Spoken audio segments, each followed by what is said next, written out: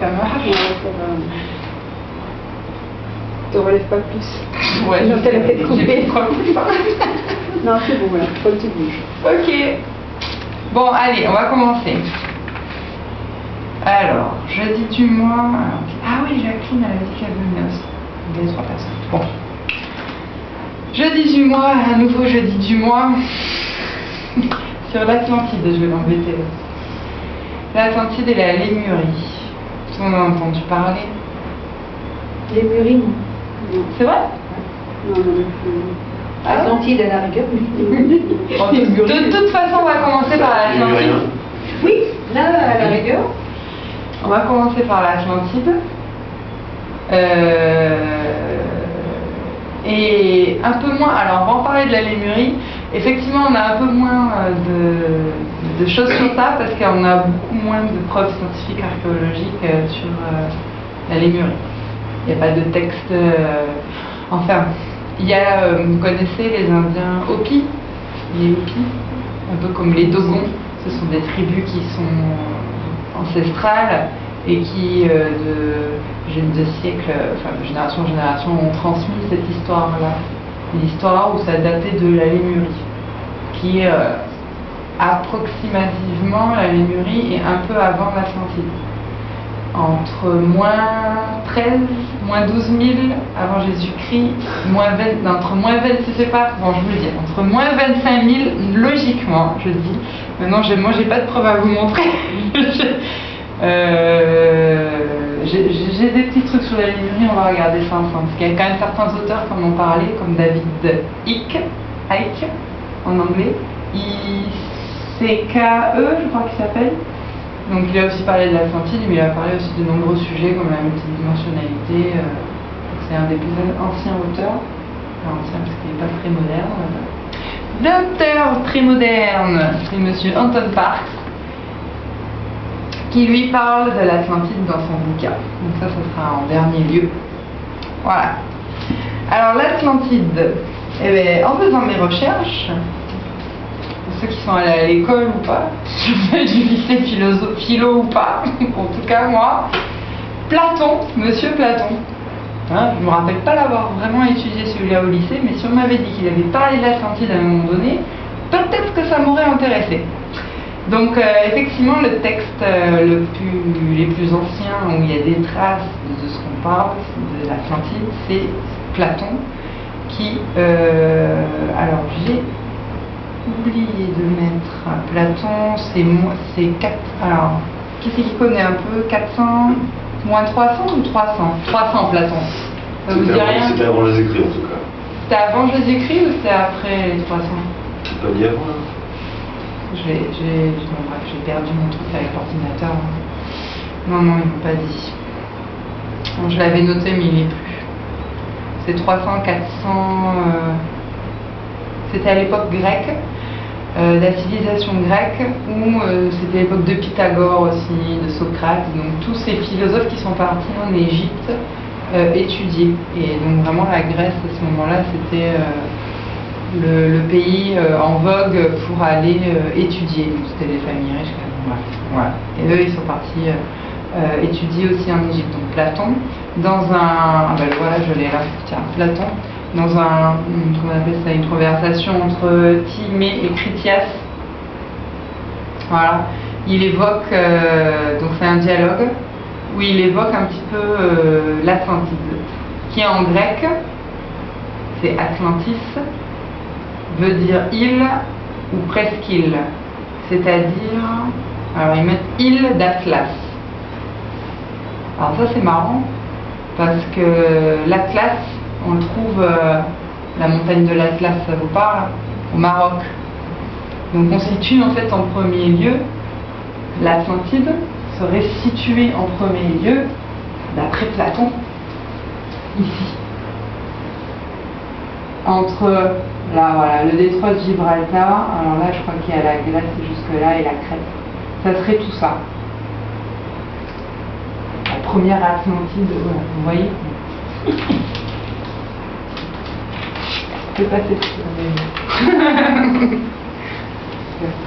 Alors si je décris,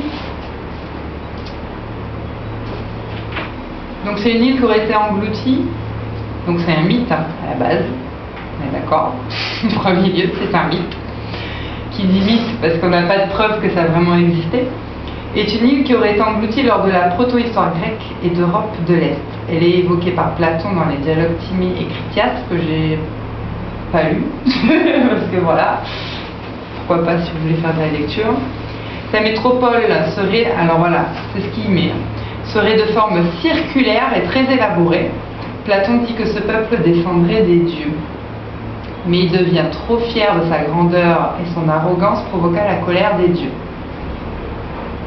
Un jour, une nuit, un séisme, un tsunami, bon, l'Atlantide fut engloutie. Alors, les autres qui arrivent.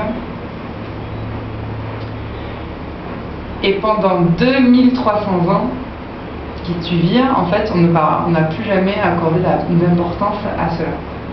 En fait, dans les textes, ce qu'on a pu trouver. Pendant 2300 ans, on n'a jamais retrouvé d'autres textes. Part Platon, qui était un visionnaire, en tout cas. Alors, euh, ce qu'il dit, voilà, on découvre son ancêtre Solon, le grand légiste et fondateur de la Constitution atténuée. Oui, Stéphane. Bonsoir. Il y a à peine de commencer, on a essayé d'attendre tout le monde, mais pas de soucis.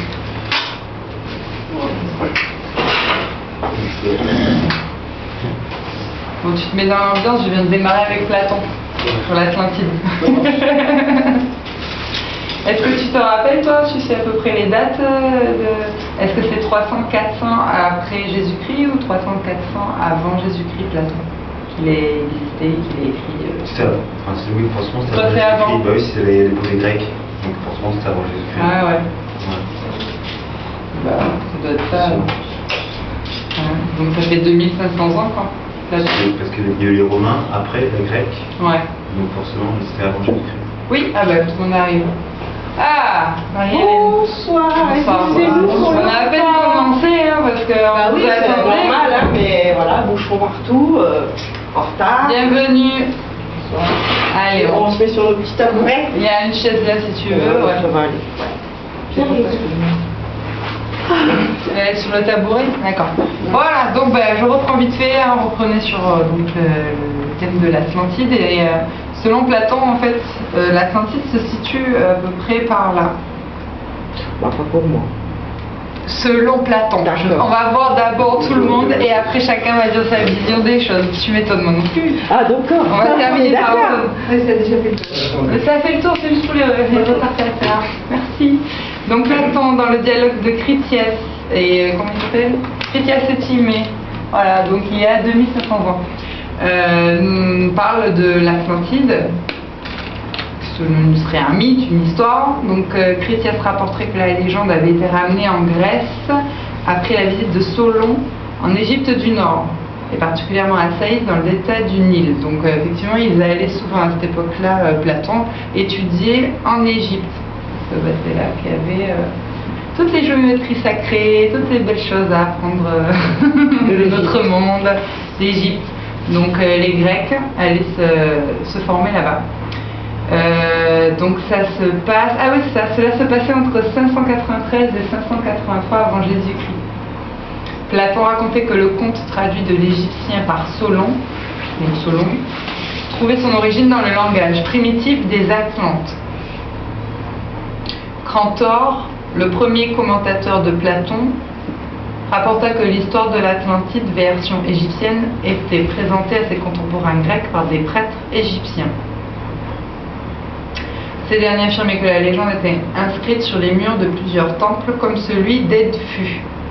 Celui-là il est connu parce que partout sur internet on en parle beaucoup, je sais pas si tu regardes, t'as vu Edfu, construit plus tardivement. Si cette information est exacte, il semble bien que la seule version du temple d'Edfu ait survécu dans toute cette Égypte. Ok. Donc la variante, euh, il semble clairement. Ah, je m'excuse. Platon a décrit de façon précise l'Atlantide, qui présente comme un monde idyllique où on peut résumer les détails comme suit. Donc, je vous donne les détails vite fait de ce qu'il dit.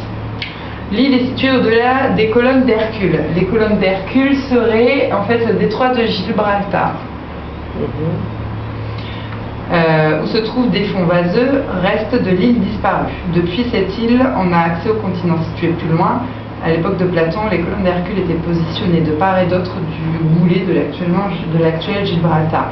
Et alors, euh, j'ai pu voir sur Internet qu'il y avait un, scientifique, enfin je sais pas qui exactement, qui avait étudié les fonds de l'eau et que si on enlevait euh, 150 mètres d'eau, on retrouvait en fait euh, des îles euh, qui correspondraient en fait au dialogue de Platon. Alors je vais essayer de le retrouver parce que j'ai eu un bazar avec mon ordinateur, donc c'est vrai que c'est plus trop dans l'ordre. Mais ça, voilà. Euh, le roi éponyme de l'Atlantide est Atlas. Alors l'Atlantide, euh, c'est Atlantis en grec, île d'Atlas. Et ce qui est bizarre, c'est que vous connaissez la montagne de l'Atlas au Maroc.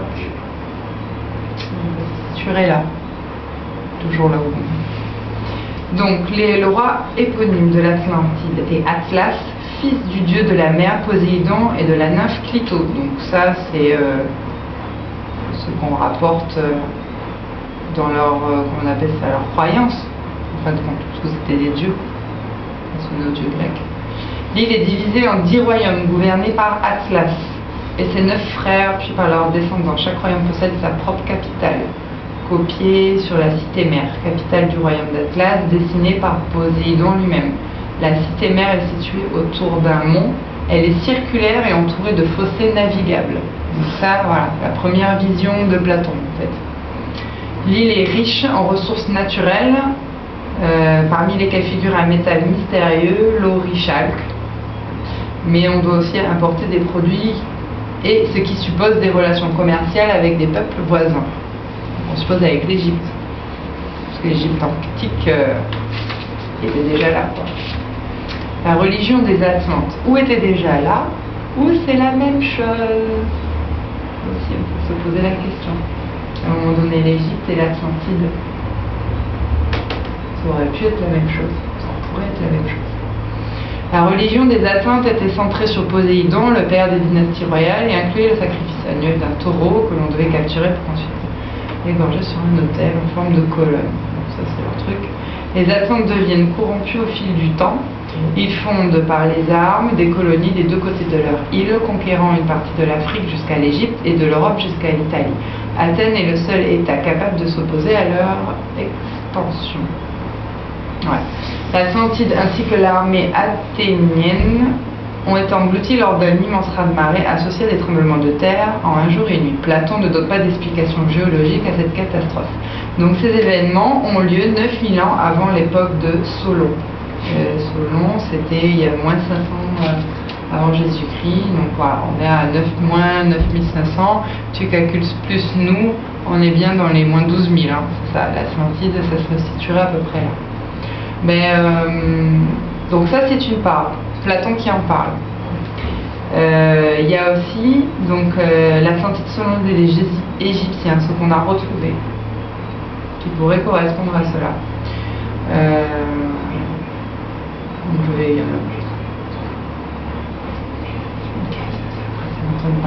La. En 2085, 1285 avant Jésus-Christ, dans le sanctuaire souterrain d'Osiris à Abydos, une vierge d'Isis, interrogée brutalement par des prêtres, se donne la mort pour prémunir le roi Sétis Ier de la calomnie. Donc ça c'est un texte. hein. Au second siècle avant Jésus-Christ, à la fin du règne de Ptolémée, les graveurs du temple d'Edfu, donc c'est toujours d'Edfu ou d'Edfu, hein, je on prononce, en Haute-Égypte, reportent sur le mur d'enceinte intérieur le contenu des manuscrits secrets attribués à Thoth, le scribe. Les manuscrits. Cette partie relate la version égyptienne de l'Atlantide. On peut y lire des textes en rapport avec Nibiru, euh, donc euh, les textes aussi sumériens, apparemment, pour être euh, le Horus, le Horus au plumage coloré et protecteur de la cité-île. Il est un avatar du serpent à plumes des Amérindiens. Les textes racontent qu'à l'époque où les dieux majestueux embrassèrent la terre, il y a eu la grande montagne et Mesper, le pays circulaire, la grande place qui verdoie au lever du soleil. Un canal Chebet fut creusé autour de l'île primordiale afin de contenir la puissance de l'eau protectrice de Ptah, c'est Osiris, le créateur. On sanctifia ensuite la voie fluviale contre l'ennemi serpent Seth. L'œil du son, ça s'appelle comme ça, tomba et le déluge engloutit la grande citerne atlante, le Buénem. Ces textes relatent la version égyptienne de l'Atlantide et mentionnent le fameux cataclysme de Platon il y a plus de 10 000 ans. Une copie de Béunem est édifiée en Égypte par Osiris en personne. Au temps pharaonique, ce sanctuaire devient le foyer initiatique de toute l'Égypte. J'ai trouvé que ça, moi, sur l'Égypte, vous avez des infos. Pas plus. Je continue avec euh, un auteur. Par rapport à ça Par rapport à l'Égypte, sur l'Égypte même. Je continue avec cet auteur qui est plus, beaucoup plus moderne, qui est, de, qui est de notre époque, complètement, Anton Park. Voilà, j'ai relevé, euh, parce que lui a fait des recherches en fait scientifiques, donc la même chose que les textes, et euh, égyptien, euh, sumérien, acadien, donc il décrit là euh, un passage de la nouvelle Dilmun, on appelle ça. Dilmun, E-Dilmun, E-Dilmun, E-Dilmun.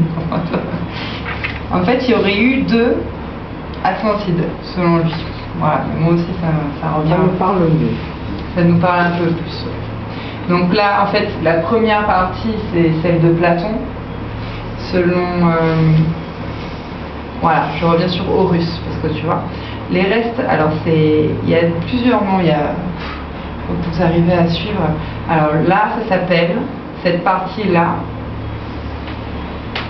d'Horus, l'Atlantide au temps d'Horus.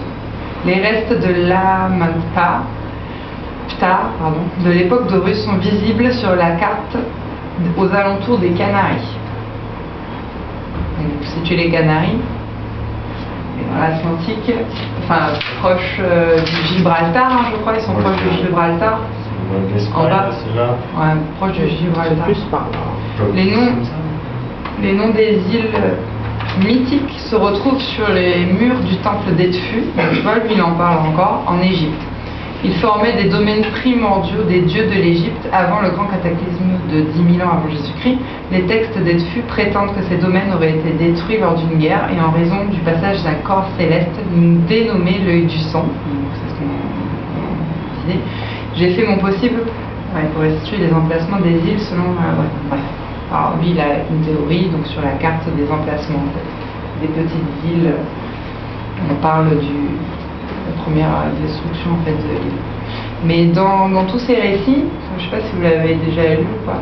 Dans son récit, il en parle euh, euh, de la manière égyptienne, mais dans la manière égyptienne, il y a l'Atlantide qui est relatée. Euh, dans le sens que il y a la guerre, on va dire, je vais faire un résumé entre Seth et Osiris. Donc chez les Sumériens, c'est Anki et Enlil. Et euh, donc l'opposé euh, ombre et lumière, dans toutes les cultures. Et que et qu'à un moment donné, Osiris a dû fuir en fait, il a dû laisser tomber une partie euh, de, des temples, enfin de là où il habitait. Donc c'était au niveau du Nil et tout ça, donc la première euh, haute Égypte euh, antique. Euh, oh, je dis quantique. Antique Pour ensuite euh, aller s'établir ailleurs. Et quand il dit qu'il s'établit ailleurs, il parle dans le livre qu'il traverse en fait tout le désert là. Ça c'est un désert, euh, tout ce qui est l'actuel.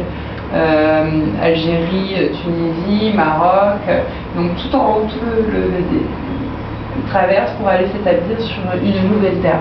Et la nouvelle terre, donc de, cette fameuse nouvelle Atlantide, logiquement, devrait se situer.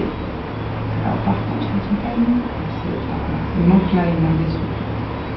En fait, l'Atlantide devrait se situer. Les îles qui sont prises dedans. Par là. Euh, donc dans cette deuxième version, euh, je sais pas exactement. Voilà, on parle de la nouvelle Dilmun. La deuxième version. se trouvait à l'embouchure de la mer Rouge. La mer Rouge, c'est où déjà Ceux qui sont bons en géo. Et elle est de l'autre côté, normalement.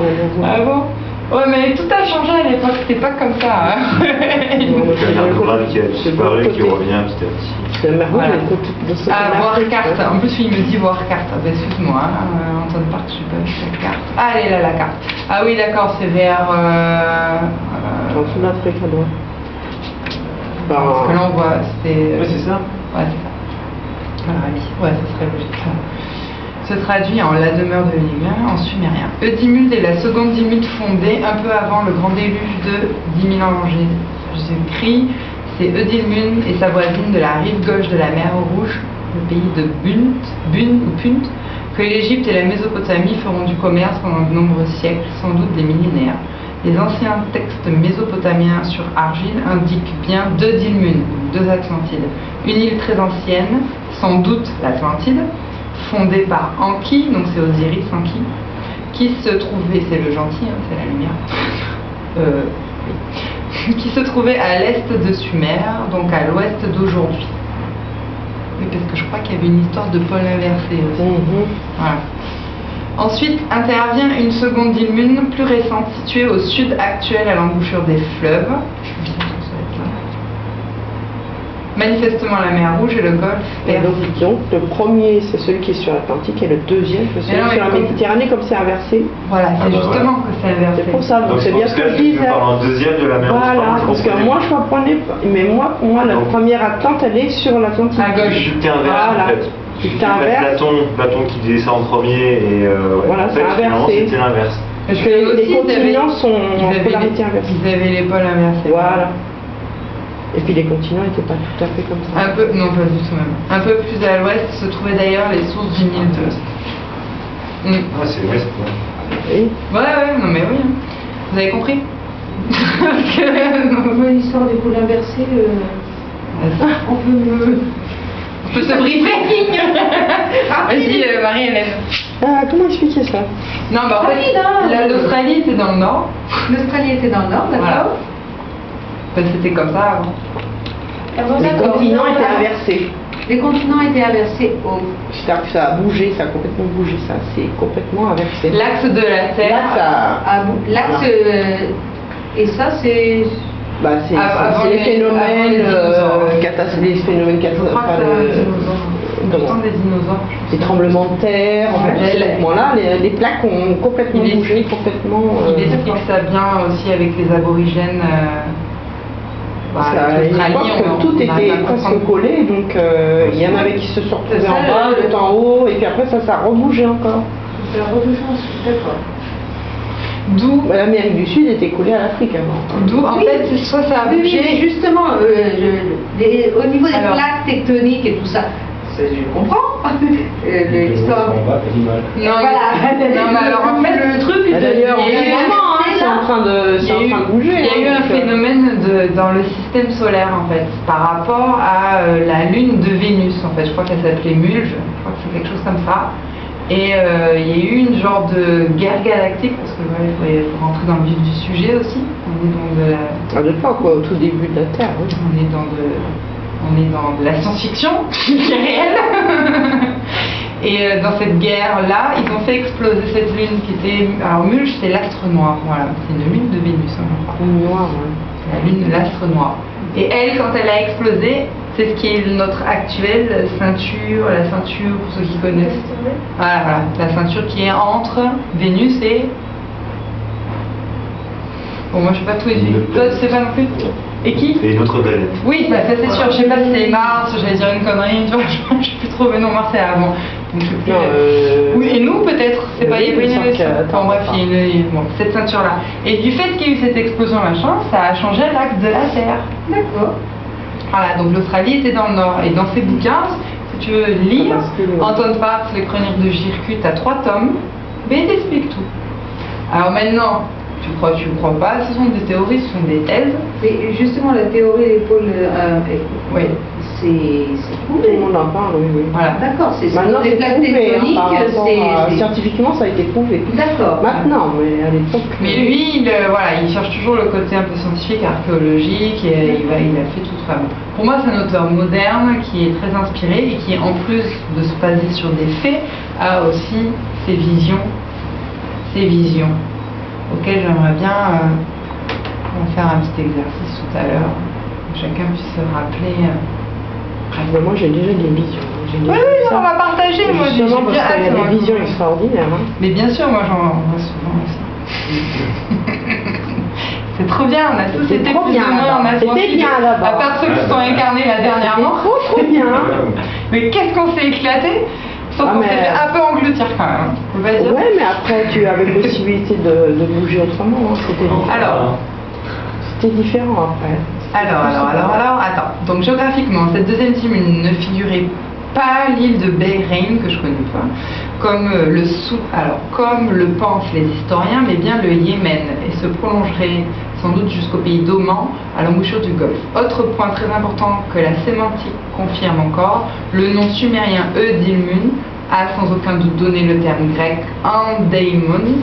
Or, Andaimon désignait au 1er siècle avant Jésus-Christ la ville d'Aden. Et par extension, tout le pays et la région se trouve cette ville, donc le Yémen. Dieu. C'est pas. Le Yémen, c'est pas là où il y a tout plein de guerres et de trucs de pétrole et de machin Hein Tu sais, il n'y a pas de hasard aussi pour qu'on plie. euh, il y a- il y a de la- richesse maintenant. Ouais, parce que ce qui est dommage, c'est que quand on a fait la guerre euh, en Irak, là, euh, on a décimé, euh, on a tué la- l'archéologie hein, à Bagdad. hein. Toute l'archéologie, euh, ils ont tout, tout, tout pillé. euh, c'est euh, horrible. C'est les guerres. Hein. J'adore Marilyn. Ouais. Bah, C'est ça que la Chine volontairement. Ouais, non, mais par contre, voilà. Tu sais, hein, tu vas en Asie, dans les pays d'Asie, il n'y a même pas besoin de guerre. Ils vont tout piller là, il n'y a plus rien. hein, C'est euh, vrai. Alors, ouais. c'est les humains, quoi. Donc voici, donc voilà, ça on a fait l'Égypte, selon l'Égypte. Vous connaissez Edgar Cayce?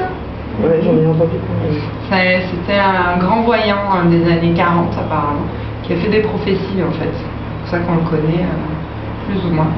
Et donc, il y aurait une prophétie qui dit où l'Égypte serait donc l'Atlantide qui aurait construit des pyramides. Donc, ce seraient les, les mêmes. Tu vois, ça, ça rejoint. Mais j'avais vu les pyramides, moi. Il dit également, il y a un truc important qui est assez intéressant pour nous, parce que nous on est quand même dans les Caraïbes, euh, qu'en 68, aux Bahamas, Mhm. on aurait trouvé des vestiges sur la route de Bimini. Tu as entendu parler? Mais là, Sur une île. Actuellement Non, c'était. Non, mais là, actuellement, tu n'as pas vu? Quoi?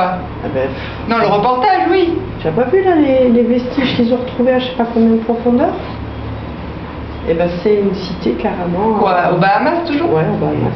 Eh ben, ils pensent que c'est effectivement Ah, la cité de l'Atlantide. Non, parce qu'alors attends, dans un reportage. C'est immense, hein, le truc. gars, il dit ouais, il y a la route de Bimini, on trouve des pavés, des blocs de pierre très bien alignés, comme Là si c'était parfaitement taillé, comme si c'était une route, comme si tu vois.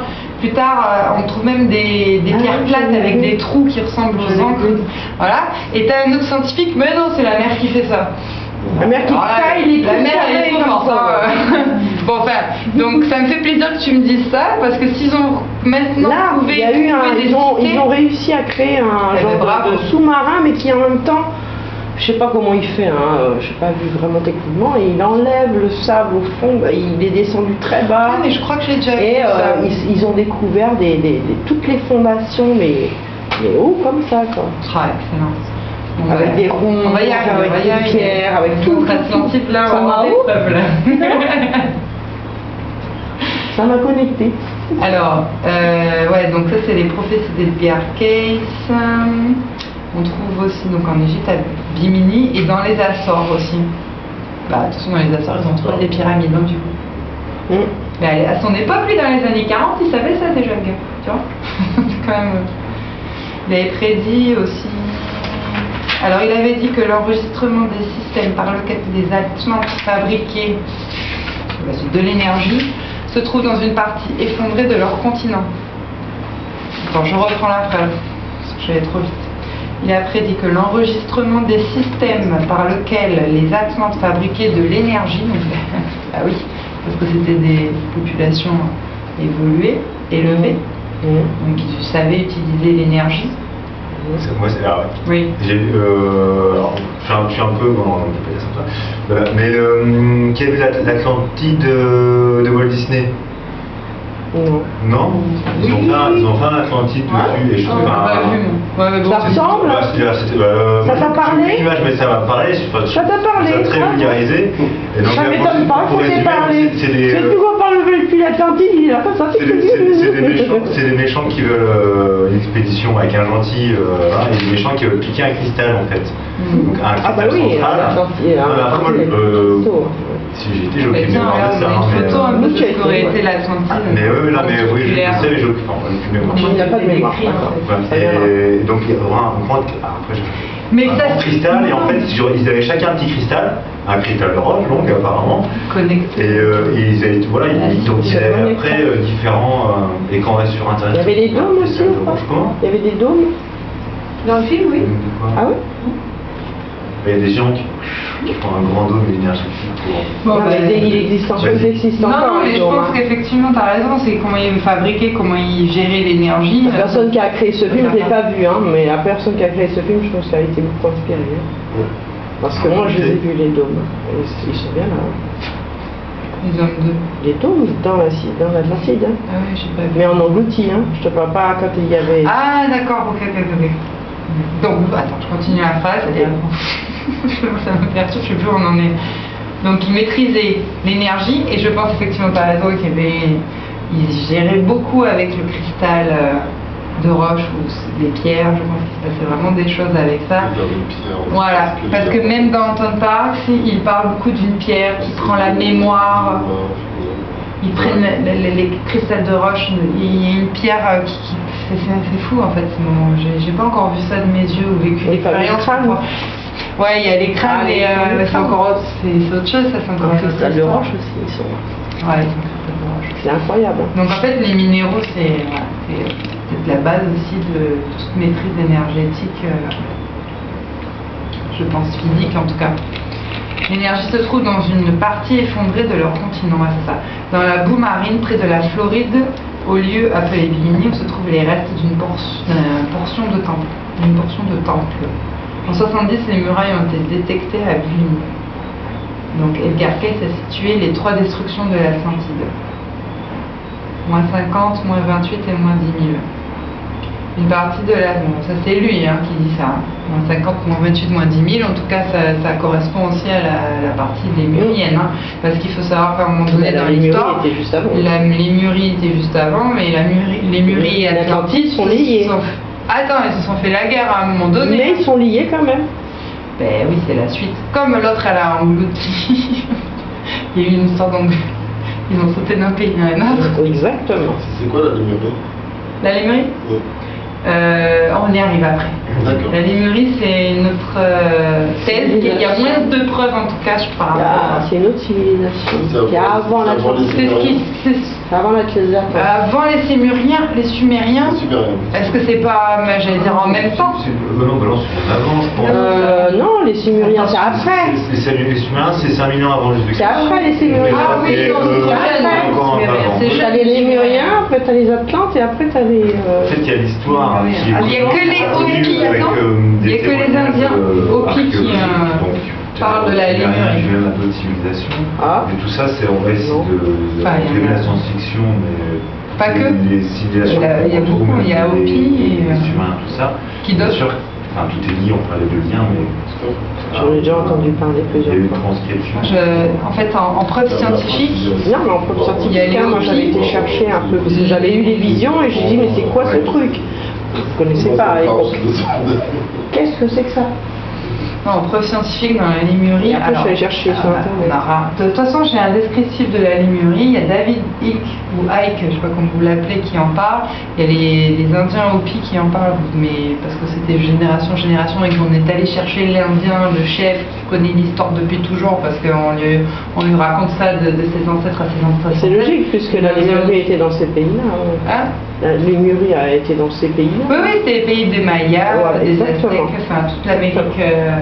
En fait, la Lémurie, bon, on passe pas, je ne vais pas mettre au sujet tout de suite, on finit l'Atlantide, mais la Lémurie, Mu, que l'on appelait Mu aussi en sumérien d'ailleurs, Mu, je crois que c'est sumérien. Voilà, ça serait situé là, dans le Pacifique. Et quand vous regardez euh, sur Google Earth, ce qui est incroyable, c'est que vous partez de l'île de Pâques, située au Chili. L'île de Pâques, oui. Et, euh, et tu suis une ligne et tu vois que tu atterris sur. euh, Il y a l'île de Cook, l'île, les, les, les Toutes les enfin, îles. se suivent, mais elles sont alignées. Après, tu arrives sur Tahiti, t'as- hmm, c'est pas Tahiti même, mais c'est d'autres îles de, de la Polynésie française. ça. Donc tout ça serait euh, des vestiges, en tout cas, de la Lémurie. Tout le, tout le l'énergie, hein, d'ailleurs.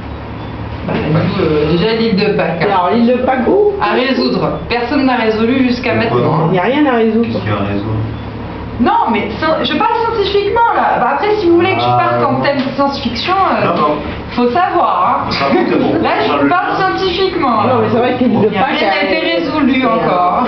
Et, scientifiquement, euh, ils savent pas. Ils savent Non, pas ils savent ça toujours pas, ils Comment ça veulent- peut être. euh, Donc, euh, alors, voyons. Alors, Il y a attends. tellement de choses dans le monde que les scientifiques Mais ça, c'est toutes les thèses. Tout ce que j'ai trouvé sur internet, c'est toutes les, les, les soi-disant thèses. T'es passé à la Lémurie ou encore à la Non, on est encore à l'Atlante, mais bon, parce qu'on parle euh, l'Atlantide aussi. Il y a eu pas mal de chercheurs en fait. hein. Vous voyez tous les points, toutes les croix rouges, c'est chaque chercheur qui a fait sa thèse, sa théorie, comme quoi l'Atlantide elle serait là. Donc il y en a dans l'Atlas. Alors on aurait retrouvé. Attends. On aurait retrouvé dans l'Atlas du Maroc. Il y a des vestiges de toute façon d'autres cités aussi. hein. Attends. Après, voilà, faut pas tout est. Voici l'Atlas du Maroc. Comme ça, je trouve ça intéressant parce que du coup, Mais dans l'Atlas, euh, au niveau du Maroc, il y a certainement d'autres cités aussi. Mais alors, ils ont qu'énergétiquement trouvé- parlant, euh, Ils ont trouvé un truc, là, euh, voilà, c'est celui-là. Les fouilles archéologiques au cours, en, cours, en cours en plus au Maroc apportent de nouvelles indications sur l'origine. Alors sur les côtières, bon ben voilà, ce serait ça aussi des vestiges, mais je sais pas trop. hein. Mais ça, chacun après va y mettre sa thèse, sa théorie. Donc là j'ai voulu faire un petit, voilà, on fait un petit résumé scientifique, vestiges. archéologique, euh, voilà, pour ensuite après se laisser aller à plus à nos visions, à ce que nous on ressent, à ce que, à ce que, à ce que, à ce que ben, tous les voyants qui ont vu, hein, genre, Ouais, pour parce ça que je que parle d'Edgar Case parce il y en a qu'il plein de vestiges hein, quand tu regardes bien. Si tu vas creuser un peu partout, Ah ben, il y en a partout les vestiges. Mais bien sûr, surtout Mais que après, ça là, peut pas être l'Atlantide partout. Hein. on retrouve, les, on retrouve des pyramides euh, près des Açores, mais sous l'eau, donc ça va être ça. Tu me dis qu'au Bahamas il y a ça, et il y a, vous connaissez Yann Lipnik? Ça vous parle à tout le monde Ça te parle Yann Lipnik, c'est un. Ouais. Il, il vient bientôt en plus en Martinique. Et lui, il dit que, comme il est dans la géobiologie, donc tout ce qui est. euh, euh, il a mesuré un peu les, les fréquences de chaque pays, euh, la Kundalini de Gaïa, des choses comme ça, il mesure les fréquences. Et il dit que toutes les îles, les petites îles des Antilles seraient en fait un bout de l'Atlantide. Euh, qui resterait quoi. C'est comme si voilà, c'était une, immense montagne, quoi. mais comme dans l'Atlantide, on le voit là dans l'image, c'est juste une grosse masse. là. On imagine que la terre de l'Atlantide, c'est juste une masse comme ça au milieu de la- de l'Atlantique. Mais en fait, autour, il y a des îles aussi. Et en fait, les petites îles de chez nous, de l'arc antillais, seraient en fait le bout de montagne de une des îles de l'Atlantide.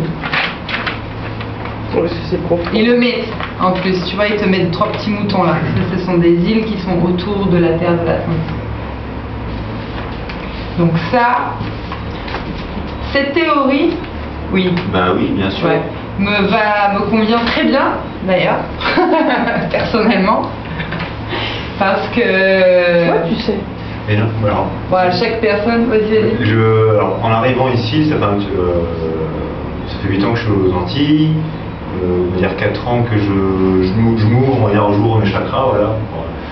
Et euh, j'ai toujours été intéressé par, le, bah, par les Caraïbes, tout ça, ce côté indien, tout ça. Donc euh, petit à petit, forcément, bah, je me suis connecté là-dessus.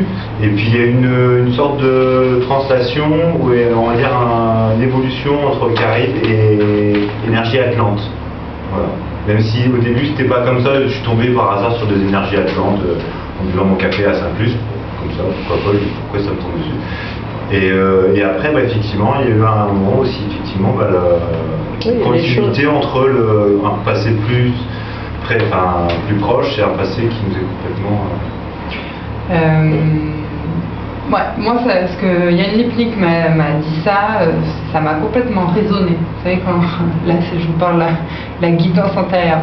Quand il m'a dit, ah oui, la Martinique fait partie effectivement d'un bout de l'Atlantide, je fais, ok, je viens de comprendre. Parce que pour avoir déjà eu des visions en fait de l'Atlantide, j'en ai déjà eu, et surtout d'eau, et des, pas des visions cool non plus.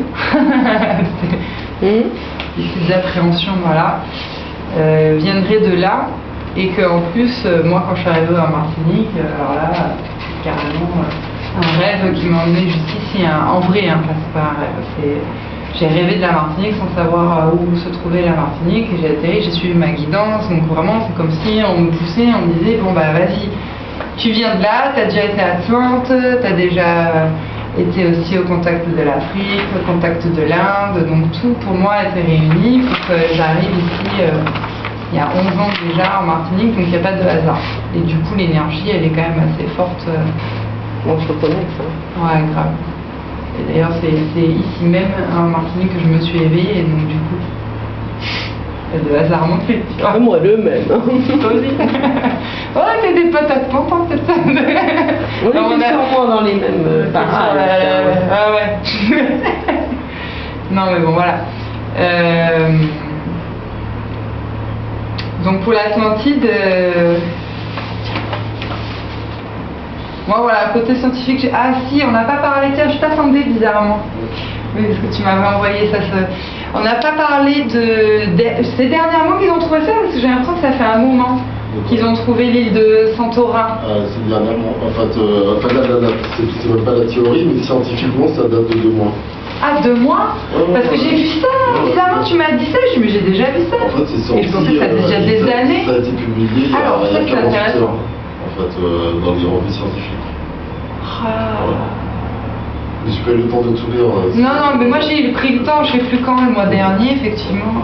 Euh, alors, il y a une île sur euh, Crète, je crois, qu'elle s'appelle. C'est l'île de Santorin. Il y a Crète, il y a plein d'îles hein, sur la Crète en Grèce. hein. Je vous situe en Grèce. Platon, je vous situe Mhm. et l'île de Santorin. Et euh, ils ont fait des, des- des fouilles, ils ont trouvé euh, sous les cendres, il y a eu un volcan en fait, qui est- voilà, et sous des cendres, ils ont cherché, ils ont creusé, et ils ont trouvé tout intact. Évidemment, les cendres conservent, de, qui datent de il y a combien? 3, 5000 ans hein, en fait. Voilà, 5000 ans.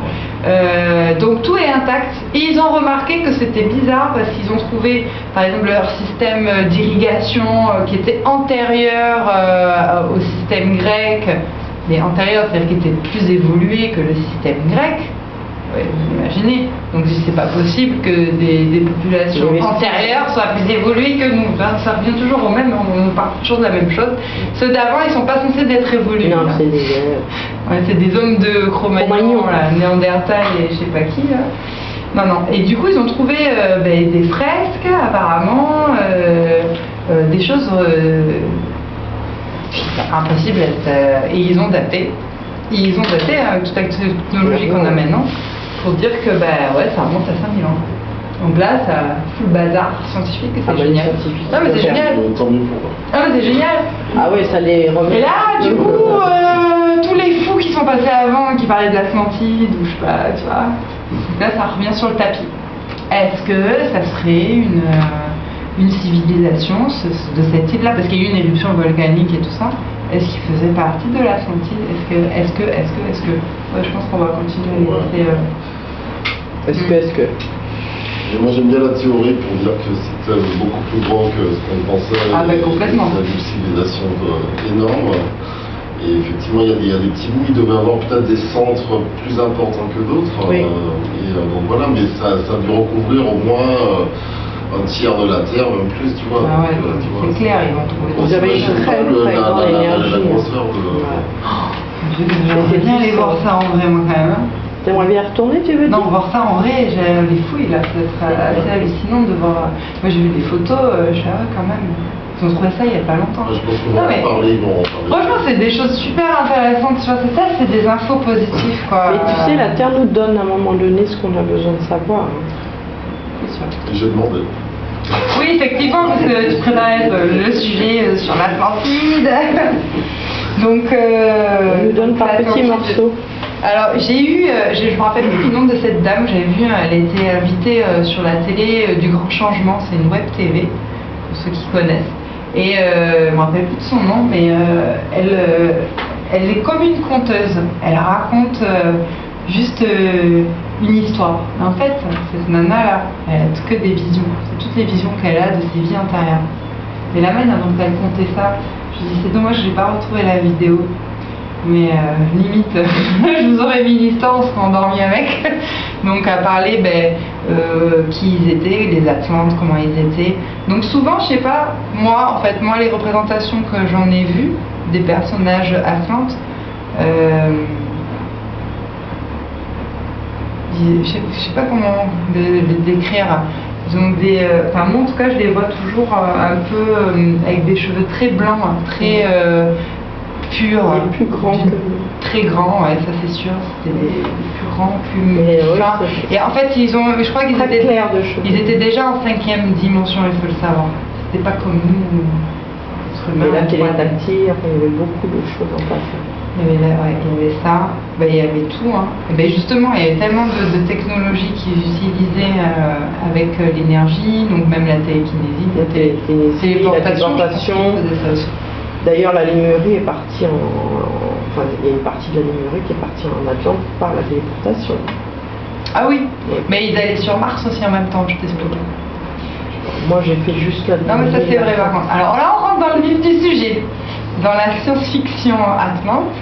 Ouais, pour moi, c'est pas de la science-fiction, mais bon. Non, mais moi je le pour dis pour euh, avoir une approche. Bon, vous me connaissez tous, mais bon, pour avoir une approche cool, tranquille, on rentre dans une science-fiction. Maintenant, c'est à vous de veux voir. m'y habituer avec soit vous y croyez, soit vous y croyez pas, mais en tout cas, oui, la téléportation, tu dis déjà d'un pays à un autre, mais sachez que déjà, il y avait des allers-retours sur euh, les autres planètes, les autres habitats, les autres Je parle d'extraterrestres, mais c'est pas. Non, les extraterrestres, c'est nous. Non, mais- je veux dire, on dit extraterrestre parce qu'on n'a plus la capacité, mais ça a toujours existé. Voilà. Ce- Euh, ouais, ces voyages-là. En fait, euh, il y a un cycle qui se fait dans le système solaire, j'en ai déjà parlé, il y en a qui connaissent très bien, je t'en ai parlé peut-être Christine déjà, le cycle de soi-disant des 26 000 ans de, de toutes les, euh, les ères, du poisson, du bélier, euh, des 12 maisons euh, astrologiques. Et dans ce cycle de 26 000 ans, euh, bah, c'est vrai que nous, en 2000 ans, on n'a pas vu grand-chose. Et pouf, on a une dixième planète qui apparaît. Oh, les scientifiques sont là, ah, qu'est-ce qui se passe? On n'a jamais vu ça? Et ben, on n'a jamais fait un, cy- un cycle de 26 000 ans en même temps. Voilà. on s'en souvient pas. on n'a fait que 2000 ans. Donc, euh, dans ce cycle-là, il y a des transitions.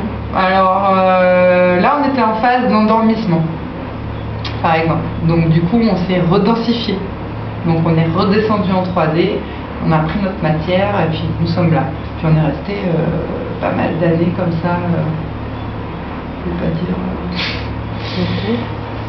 Longtemps. au moins 3000 ans, euh, je pense qu'il y a 3000 ans d'endormissement.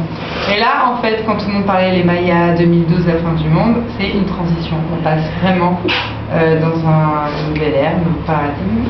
C'est une transition à cette élévation-là que les Atlantes avaient déjà.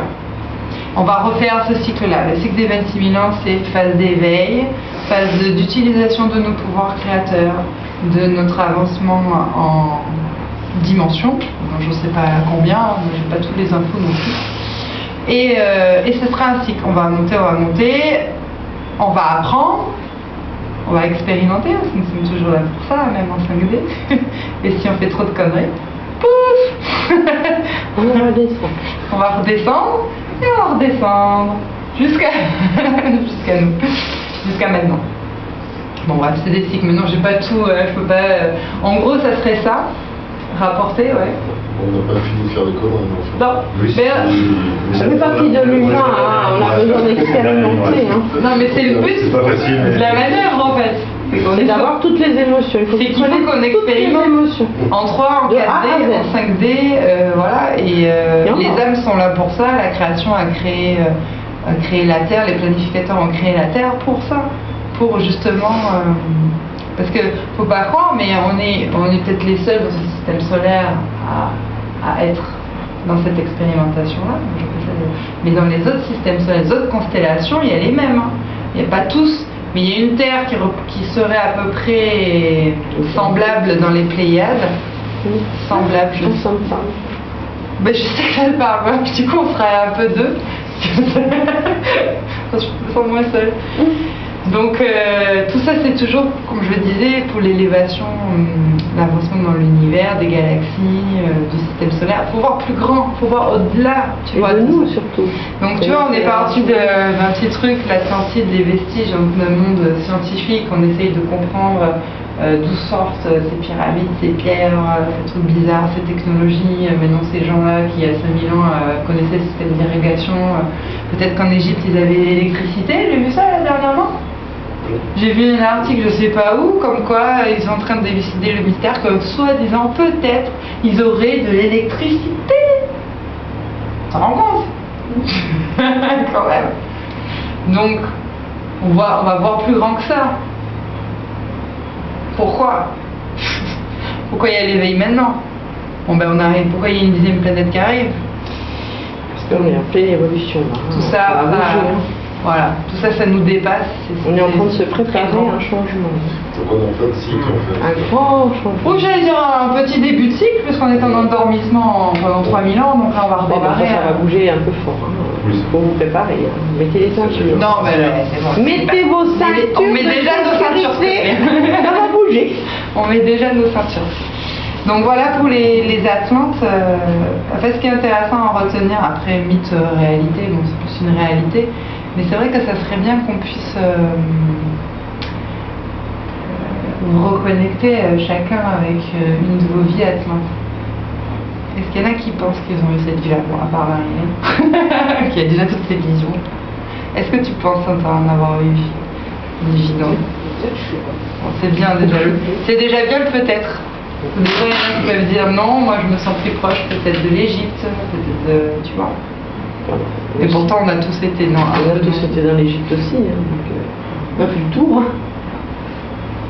Bon, on va essayer tout à l'heure. Bon, on, on va rebondir, on va continuer sur la lémurie et après je vais essayer de faire quelque chose avec vous. Alors, la lémurie, Mu, euh, serait une ancienne civilisation qui supposée avoir existé avant et en même temps que l'Atlantide. On le situe dans le Pacifique Sud, entre l'Amérique du Nord, l'Asie et l'Australie. La Lémurie est aussi appelée Mu ou Terre de Mu. À l'apogée de sa civilisation, les Lémuriens étaient hautement évolués et d'une grande spiritualité. Mu aurait été englouti par une éruption volcanique, évidemment, comme ça. Les survivants auraient alors fondé la civilisation Maya. Donc David Icke, Wick, I-C-K-E, parle en 2002 un extrait qui s'appelle Les enfants de la matrice. Donc je vais vous le lire de ce que lui. Il y a de cela plusieurs millénaires, avant même le soi-disant préhistoire, le Pacifique était le théâtre d'une civilisation très évoluée qui occupait un continent que nous appelons la Lémurie ou Mu. Les Lémuriens et d'autres peuples furent également à l'origine d'une grande civilisation dans l'Atlantique cette fois, et se trouvait un continent que nous appelons l'Atlantide. Les connaissances qui favorisèrent l'émergence de telles civilisations permirent l'érection d'impo- d'imposantes structures telles que la Grande Pyramide et de nombreux sites sacrés partout sur Terre. La Lémurie fut détruite par un cataclysme qui frappa la Terre et il y a peut-être 12 000 ans de cela. L'Atlantide sombra ensuite par phases successives au fil des millénaires suivants. Les différentes versions de l'histoire du Grand Déluge racontent cet anéantissement. C'est vrai que le fameux ouais. Arche de Noé, C'était violent. J'y croyais pas trop cette histoire quand j'étais petite. hein. Là-dessus. Bon, pas du tout. Ça me parlait pas du tout ces histoires de pères d'animaux dans un bateau. Mais mais- déluge. Ah, déluge, je me suis dit, pourquoi pas. Lorsque les bouleversements géologiques sonnèrent le glas de l'Atlantide, les dieux et leur lignée royale migrèrent au Proche et au Moyen-Orient et fondèrent un empire à Sumer. Ah. Entre les rives du Tigre et de l'Euphrate, aujourd'hui l'Irak, vous imaginez bien, enfin, je râle avec cette guerre de merde. C'était autour de l'an 4000 avant notre ère. Selon l'histoire officielle, Sumer marqua le début de la civilisation humaine, mais en réalité, il s'agissait d'un recommencement après la destruction de l'Atlantide. Euh, Est-ce que c'est pas eux qui ont fondé le deuxième Atlante là? Tu fais bien fait. Hmm, bah, Pas possible. Ah ben oui, parce que lui, il s'est servi des preuves qu'il trouve en Égypte, donc tout ce qui est sumérien, acadien, les langages sumériens, où il parle de l'Atlantide. Donc ça peut Et en complètement même temps, à voilà, et il parle de l'océan, euh, enfin de la mer, euh, la mer rouge. Oui, voilà, voilà, voilà. hein. Ouais, c'est bien étudié. ouais. Donc tu vois, chaque personne euh, finalement arrive à se, à se retrouver au même truc. Alors, euh, ok, la- Lémurie. De nombreuses ruines viennent confirmer à travers les îles du Pacifique la floraison passée d'une haute civilisation. L'île de Pâques et ses statues constituent sans conteste, j'aime bien le sans conteste, les vestiges les plus connus et les plus spectaculaires. Elles sont au nombre de 550 constructions cyclopéennes dont l'origine demeure aujourd'hui inexpliquée, malgré les tentatives faites en ce sens par les savants officiels depuis plusieurs décennies. Ces constructions colossales ne sont pas les seules qui étaient reconnues sur ce modeste îlot de 118 km. 118 km, elle fait. Ça donne envie d'y aller, hein. moi j'ai trop envie d'y aller. Qui c'est qui part avec moi?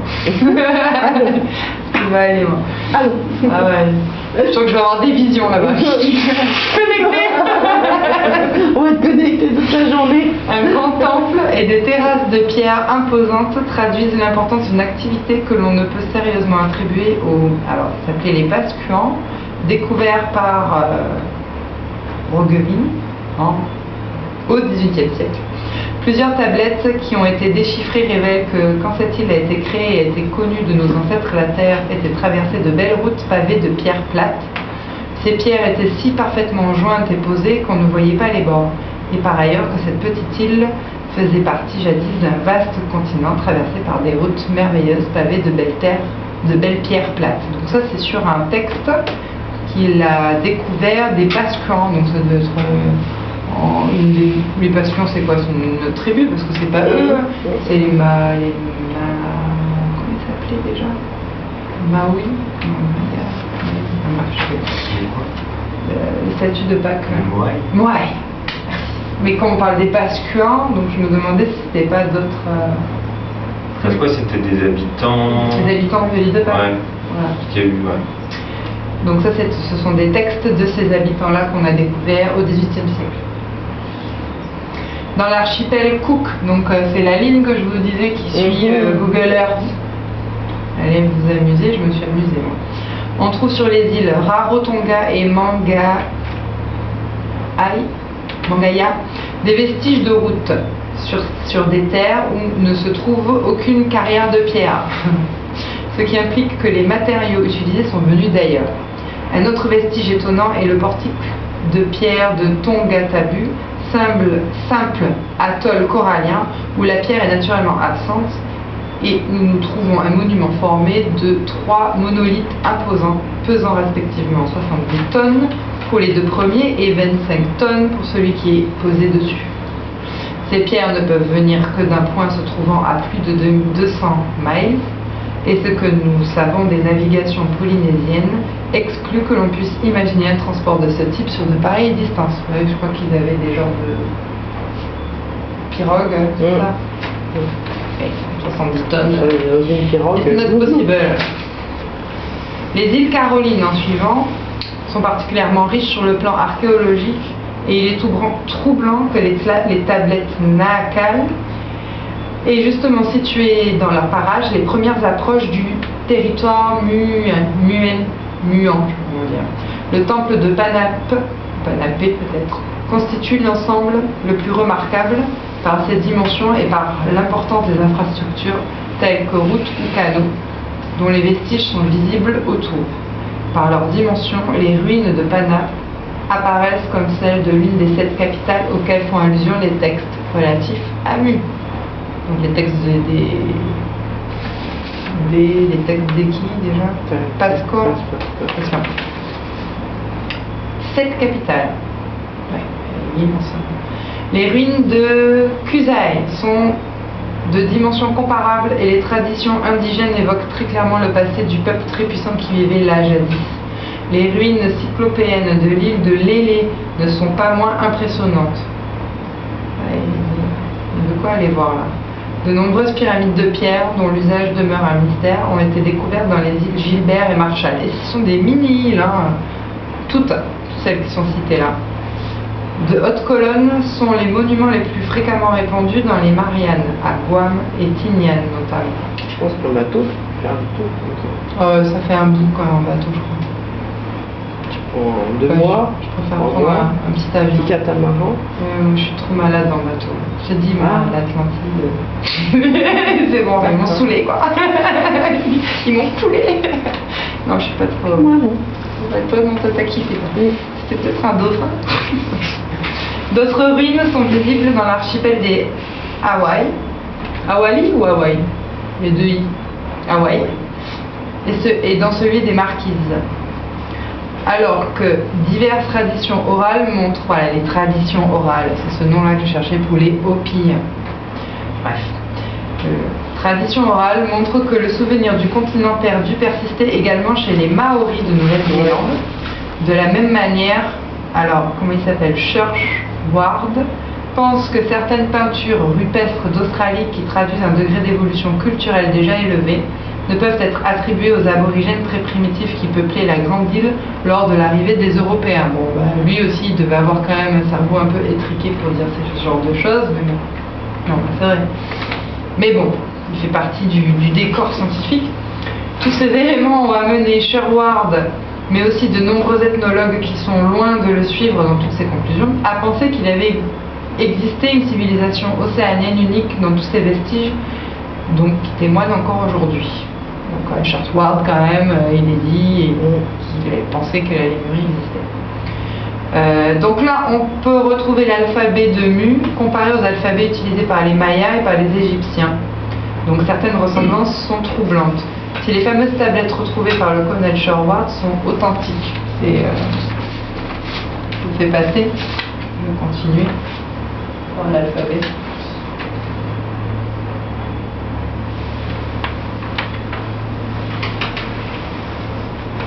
Je le sais sans intégrer. Allez voir sur Google Earth. je me suis amusée à toutes les, toutes les regarder, toutes les îles. Parce qu'on peut vraiment aller voir euh, ce qu'il y a de nos jours, mais je crois qu'il date de.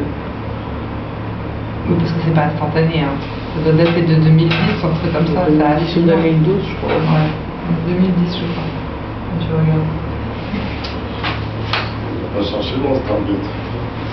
Ah, c'est clair. Ah, lisible.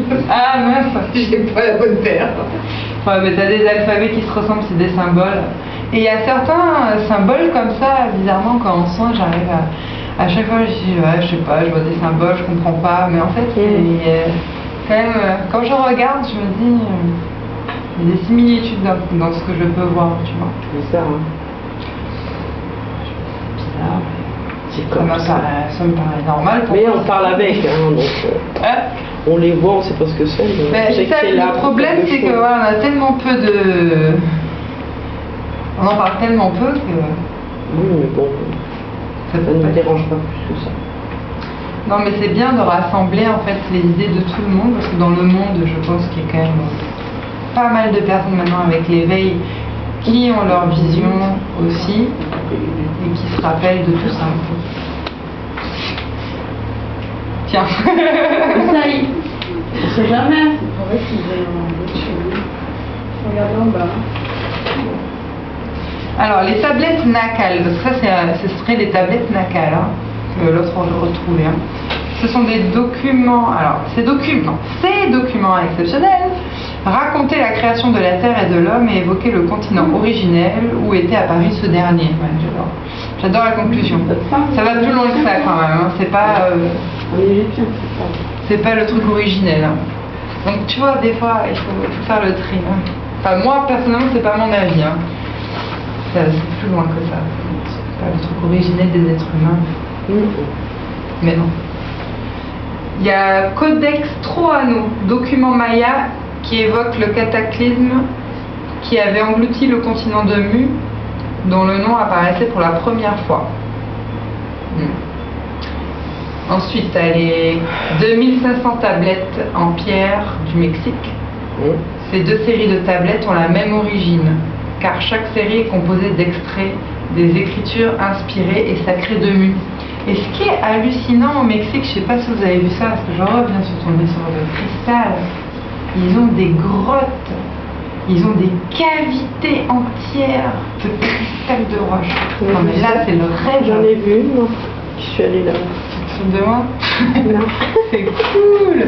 Oh là là, non mais Et même dans l'eau, quand tu vas, euh, il y a un quoi. endroit où tu. Oh On va pas te donner les noms parce que faire. Ouais. Mais on a fait un, truc dans, dans de l'eau, tu sais, où on- et il y a des grottes souterraines et là c'est rempli. Oh là là, mais et je- l'eau est cristalline. je pleure. Bah ouais. T'as pleuré Oh, on va rejoindre maman. Je vais retourner chez moi. Je vais retourner dans ma maison. T'imagines la puissance du truc quand même. Ah c'était fort, hein. Et là, et donc Il y avait au, au les Mexique, dauphins, il y on avait tout, ça. hein. On avait de la Au Mexique, totale. on hein. trouve ça. euh, et, et les grottes, enfin, je sais pas, je trouve ça. Bon, alors bien sûr, après au Brésil, il y en a aussi. Alors au Brésil,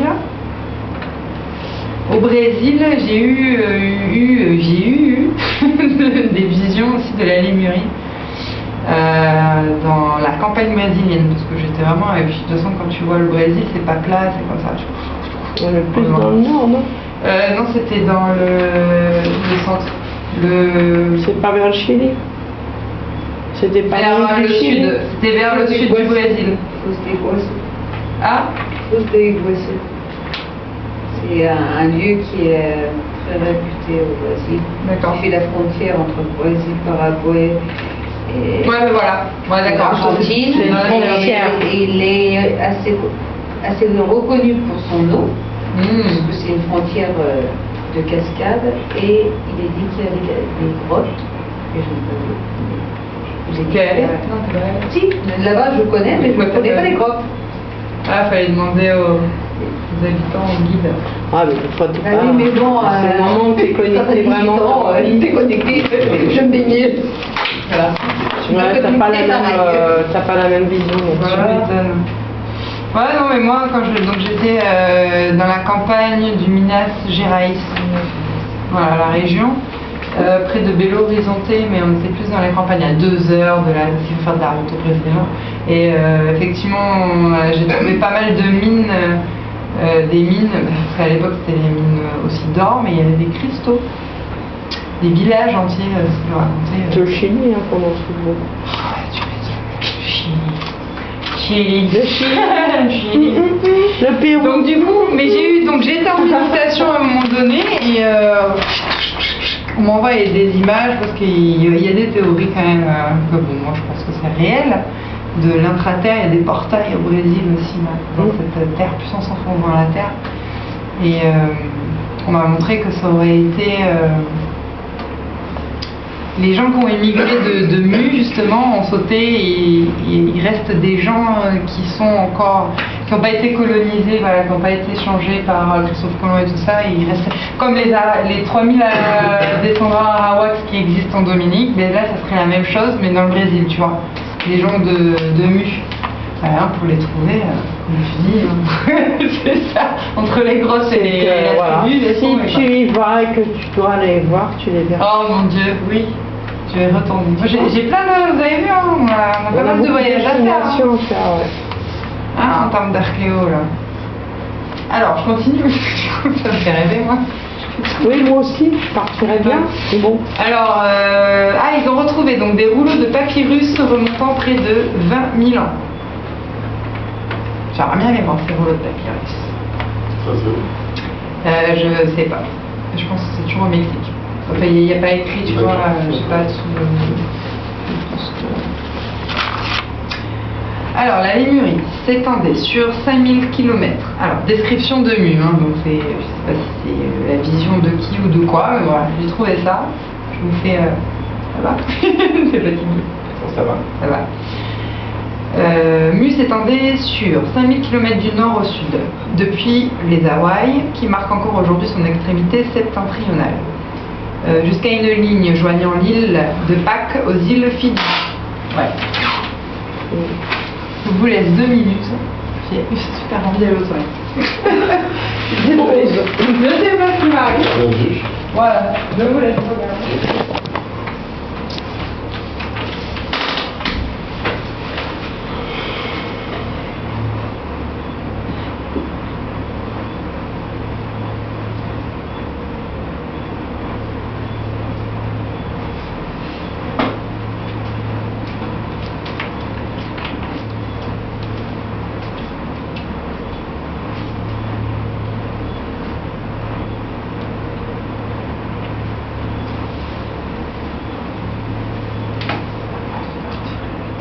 Hum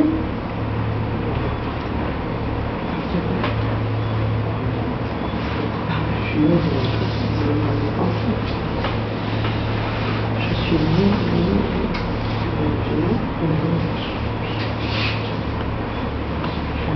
J'y suis venu.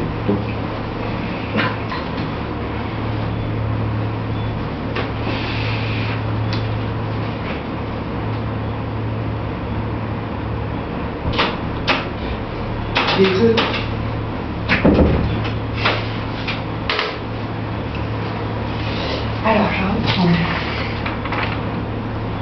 Hmm. Donc, jusqu'à l'île de Pâques, aux îles Fidji. D'est en ouest, il s'étendait sur 8000 km. Il était formé de trois terres séparées par des trois euh, chenaux, selon la carte étudiée au Tibet. Il manque des bouts. hein. Je ne suis pas trop là. Euh, donc l'ensemble se, présentait comme une immense plaine vallonnée au climat tropical et à la végétation luxuriante, on l'imagine. Ce paradis originel était fertile et propice à toutes les cultures. Des villes importantes regroupaient une population nombreuse évaluée à plus de 60 millions d'habitants au moment de la catastrophe. Donc Mu était euh, véritablement le centre de toute civilisation et les autres foyers de culture n'étaient que ses colonies. Ce vaste ensemble se présentait comme une immense plaine vallonnée au climat tropical. J'ai déjà lu, ok, bravo. Tout va bien. Ce paradis original. Je me suis. Minute. Mu était véritablement, ok. Les habitants étaient divisés. J'y arrive. Les habitants étaient divisés en dix tribus et se consacraient à l'agriculture, à la navigation et au commerce. Tous adoraient le soleil et croyaient à l'immortalité de l'âme. Le peuple dominant était de race blanche. Alors je ne sais pas qui c'est qui a écrit ça. Ça, je ne suis pas trop d'accord. Pas blanche, blanche. blanche. Non. Hmm. Ah, moi, je le vois pas comme ça. Mais alors, Anton Parks, à un moment donné, il explique euh, la formation génétique de chaque race, justement, de chaque couleur. On a tous été créés génétiquement. Maintenant, je ne sais pas à quelle période et comment. En tout cas, euh, Les Atlantes étaient quand même euh, clair de peau. Ouais, les Atlantes, ouais. Mais euh, j'ai lu un truc euh, comme quoi, euh, comment il s'appelle Les nazis, le nazisme, euh, comment il s'appelle entre Hitler, aurait repris en fait une histoire de l'Atlantide pour euh, cette histoire de race aryenne. Pour la race pure, C'est la pour la première fois pureté de la C'est la race. première fois que je voyais ça sur, Ah ouais, sur c'est- ouais. Parce que justement, je disais que je voyais vachement tout le temps ses cheveux très clairs, Très, très clairs, très blancs. Voilà. Et je, Et enfin, et grands, c'est pas la première fois que je vois ça et à chaque fois je me dis ah, bon bah l'Atlantide, ça ce serait l'Atlantide. Maintenant euh, Mu je suis un peu moins sûre parce que quand tu vois les descendants, que ce soit les Indiens Hopi ou les Mayas, euh, c'est pas blanc quoi. Donc je sais pas en fait. Mais il y avait plusieurs ça. tribus, justement. Ouais, ça, il y avait plusieurs tribus. Et c'est justement, il y a une partie des, des, des tribus qui sont parties sur le continent euh, américain, Ah oui. et l'autre partie est partie de l'autre Ouais. Ouais, Ouais. ouais, c'est vrai. Et Tibet aussi. Et le Tibet, bah, c'est pour ça qu'il parlait Ouais. du Tibet. C'est pour ça que Ça, tu- éclaté. Tu le sais comment ça, toi? Par tes visions. D'accord, merci. Non, mais c'est intéressant, c'est très bien. Et donc, il y avait donc ces tribus-là, et comme le- la Terre était très très grande, donc c'était peuplé, c'est très diversifié, c'était pas. euh, euh, mais chaque tribu se ressemblait. Tu vois, c'était très bizarre. Bah, de toute façon, ils avaient l'air d'être évolués spirituellement. mhm. Ah, bien sûr. Alors, ils mettent tous adorer le soleil, donc ça me fait penser euh, bah, aux Mayas, aux Aztèques, etc. Et croyaient à l'immortalité de l'âme. Ouais, Les peuples dominants étaient de race blanche avec des yeux sombres et des cheveux noirs.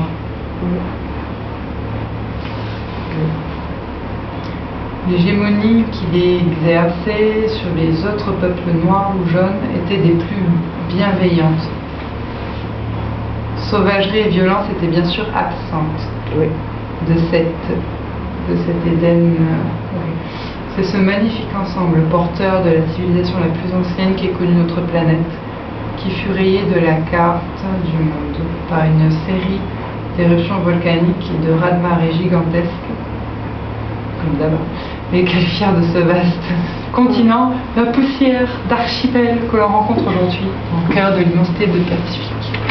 Ah, mais Mais faut comme pas- il il faut, pas euh, oublier non plus que euh, avant les éruptions, les, les- les tribus commençaient déjà, tu vois, ils étaient très élevés spirituellement, Ils savaient déjà. mais ils commençaient déjà Ah, à avoir l'orgueil qui commençait à monter, il y en a qui voulaient être les chefs, ça a commencé comme ça. Et euh, les conflits ont commencé à se mettre en place et puis bon, Alors pour l'Atlantide, de ce que j'avais, hein, hein Il n'y a pas de fumée sans feu. non, Ouais, c'est ça. non tu récoltes que ce que tu sèmes. hein. Pour l'Atlantide, Donc euh, allez hop, dégagez. ils avaient développé, je crois, des. Ça a euh, duré un temps, hein, ils- c'était très, ouais, on était très très Il y a ça, mais il y a aussi la- les technologies un peu. Ça ressemble un peu à ce que nous, on est en train de détruire la Terre, tu vois, mais eux, ils faisaient pareil euh, à l'échelle. euh, voilà, les Atlantes, en tout cas, euh, avaient créé des technologies assez euh, sophistiquées et euh, qui n'étaient pas très bons pour l'univers, qui ne rentraient pas dans le- la loi de l'univers, tu vois. Et voilà. Il y avait ça aussi qui a fait que ça.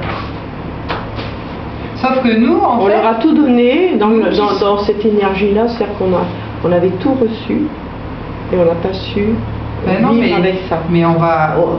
on va répéter On est ça hein, quelque part. Regarde, bon là, nous. Bah là, on est dedans, on est dans, la non mais là en plus on est dans rien du tout, on n'est même pas évolué Ouais, par rapport à eux et et voilà. on s'autodétruit déjà. donc- Déjà. Alors imagine un peu. Oui, C'est pas comparable. ou- non, c'est pas comparable du tout. T'as raison. Mais on est en train d'évoluer. Faut pas s'inventer un, un dénouement euh, Non. catastrophique. Catastrophique. Par contre, il y aura. Moi, je l'ai déjà. Non mais je pense qu'on quand même on avance. euh, Il y a, il y a- il y a un mouvement qui va se faire au niveau terrestre. Pas forcément, vu que les, les énergies, enfin, euh, on est, comment dire, on est euh, assailli Il y a par des énergies il y a, y trop de euh, conflits, trop de, trop de noirs. Mais que tu acceptes ou pas, tu, Mais après, à toi d'évoluer dans ta spiritualité, Bah oui, mais d'être évolué dans autre chose pour que justement tu puisses être transmuté sur autre chose et revenir sur cette terre pure comme elle sera. Parce que c'est ce qui va